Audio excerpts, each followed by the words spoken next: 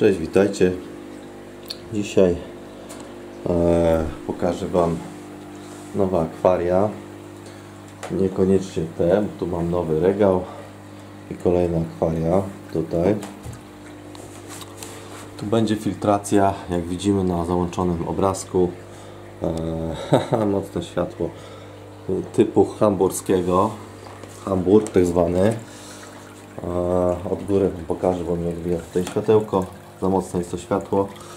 No tu będzie głowica bez żadnych gąbek.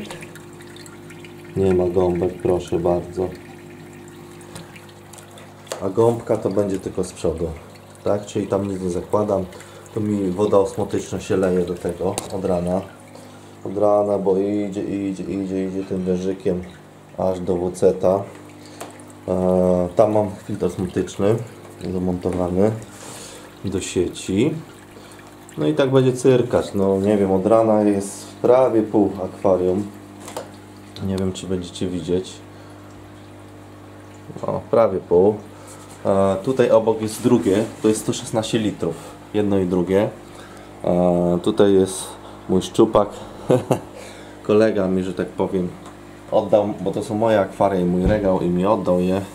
E, ale miał wcześniej rybkę, że tak powiem i, i ta rybka no, musi gdzieś mieszkać, więc na razie u mnie mieszka. Tu jest woda niestety kranowa z kranu i jej pozbędę tej wody, bo jeszcze rano była tutaj kranówka, ale wiadomo, no, test szczelności zrobiłem, że faktycznie jest szczelne po sam, samą warstwę taką górną tej szybki. Eee, no i później tutaj tak zrobimy, tylko najpierw musi, że tak powiem, ta woda troszkę dojrzeć. Eee, w tym akwarium, gdzie osmoza się nalewa i wtedy tego szczupaka przełowię. Na razie się musi męczyć tutaj. No niestety, eee, raz już mi wyskoczył. Tutaj takie będą szyby nakrywowe trzymane na, na takich e, nie wiem, uchwytach to nazwać, czy jakkolwiek. No, ale to mówię, muszę iść do szklarza. Piątek akwarium wieczorem dostałem, więc tak jest. No i jakieś kolejne będą krewetki w tym, tak? No, szczupaczek mi pomoże. To jest glonajec syjamski tak naprawdę, ale pomoże mi oczyścić te szyby tych osadów. Troszkę nasra mi tu, czyli przyspieszy biologię. Dam tu ślimaki, one też oczyszczą szybę. Tutaj oczyszczą mi szyby z kamienia. Bardzo fajnie nertie czyszczą e, kamień. No, rybka na nas patrzy. Co my tu robimy? I w sumie, co jeszcze mogę Wam pokazać? Ciekawostek. No, miejsca jest jeszcze tutaj na kolejne akwaria. E, tutaj jest lawa. To są skałki lawy, one już kiedyś je miałem w akwariach, to jedna z pierwszych jakie miałem, to już 4 lata, niektóre mają, niektóre 3. One już były w wodzie, więc one są takie troszkę pobrudzone, troszkę zaglonione, no i czy, trzeba poczyścić sobie przed wrzuceniem. A, jak widzimy jaśniutko mam w pokoju, bardzo jasno. Te LEDy to są słabe do tego, bo tu jest 24 W białego i niebieskiego światła. No, tak kiedyś kupiłem i tak mam, niech tak będzie na chwilę. Tutaj wrzuciłem do tego akwarium, jak widzimy, e, jedną skałkę lawy. Ona też była brudna, zagloniona. Od spodu troszkę zostało tych glonów. Ale tu ślimaczki się zajmą, pomogą troszkę e, przyspieszyć dojrzewanie biologiczne. No, przy tym świetle mocnym to ja widzę, że o, może świecę tak, to będzie troszkę lepiej. Ale ta, widzicie, lawa ma takie fajne pory i, i taka jedna skałka lawy nie zrobi, że tak powiem, jakiejś e, różnicy.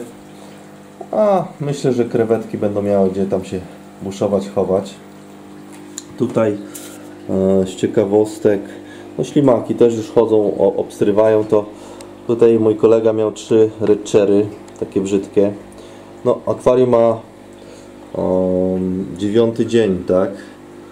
Te szyby widać, że mam takie trochę zabrudzone przednie, bo tu życie szybko się rozwija, bo jest mocne światło LEDowe. I te leczery o dziwo żyją. mimo że dziewiąty dzień e, dopiero ta osmoza z tymi solami i z, tym, z tą resztką rzeczy żyje. Jakieś białe kubki tam widzę, no białe, bo tu jest bardzo czysto, w pewnym sensie czysto.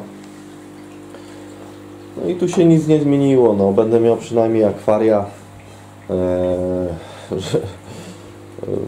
kolejne do podzielenia tych krewetek na różne kategorie, e, kategorie, na różne gatunki, no. No cyrka, cyrka, ja bym chciał, żeby to szybko było, ale to nie będzie szybko. Jeszcze będę musiał pomyśleć, jak to przymocować tą gąbkę, bo ona w sumie nie jest na niczym przy, przymocowana, tylko się tak trzyma. E, myślę, że dam w rogi po prostu lawę wulkaniczną. Mm, a u góry czymś muszę chwycić, żeby się nie przewróciło.